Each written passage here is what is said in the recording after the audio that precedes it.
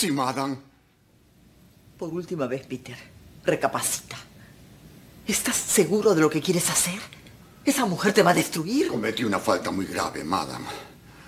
Ofendí a la casa y a madame. No me quedaba otra cosa que renunciar. Eso es cierto, pero... No voy a permitir que vaya contra sus principios. Jamás lo haría. No se preocupe. Comenzaré una nueva vida. Ojalá no te equivoques. Eso voy a hacer, olvidarme de todo. Bueno, ¿has desayunado? No. Acompáñanos entonces. Peter.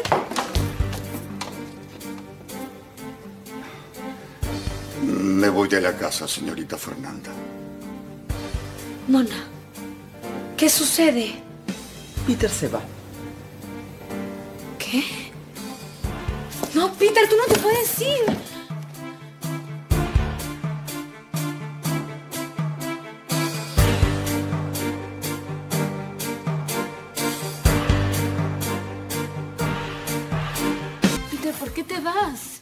¿Por qué pasó?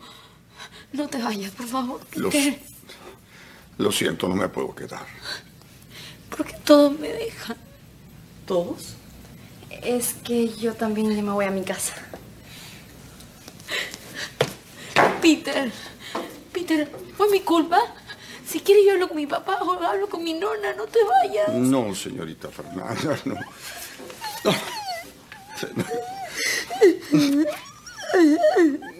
Me tengo que ir. Pórtese bien, que pronto será una linda mujer. Peter.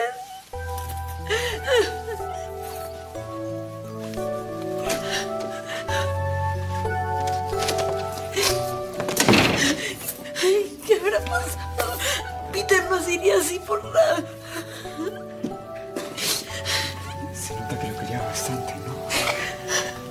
¿Hace cuánto trabaja acá? Uy, toda la vida. Con decirte que nos llevaba al colegio. ¿Al colegio? A mí me llevaba al nido. Esta casa va a ser un infierno sin Peter. ¿Te acuerdas cuando todos íbamos a la playa? Sí. Mi mamá bronceándose. Mi papá lagarteando. Nicolás con las chicas por ahí. Y Peter era el único que jugaba con nosotros en la arena muca. Hacía unos castillos alucinantes. Con decirte que una vez hizo un palacio enorme con las caras de todos los presidentes norteamericanos. Eran bien amigos. Contra mí. Era nuestro cómplice. ¿Y ahora quién voy a hablar? Puedes contar conmigo.